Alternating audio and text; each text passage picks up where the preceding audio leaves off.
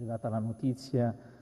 eh, dall'organizzazione dell'aeroporto di Fiumicino che molti turisti tedeschi siano in arrivo in Italia, questo è un bene per le nostre economie, il nostro lavoro che abbiamo fatto insieme nelle ultime settimane a livello europeo mette in condizione i cittadini europei di potersi spostare all'interno dell'Unione Europea e quindi anche i turisti per venire in Italia. Stamattina abbiamo visitato insieme il comando dell'operazione Irini,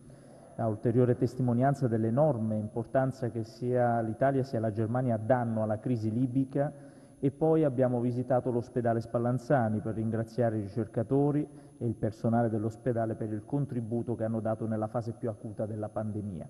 A questo riguardo vorrei ringraziare ancora una volta la Germania e i suoi lender per gli oltre 40 ricoveri in terapia intensiva offerti durante la pandemia e desidero informarvi che in queste ore sono felicemente rientrati dalla Germania gli ultimi tre pazienti.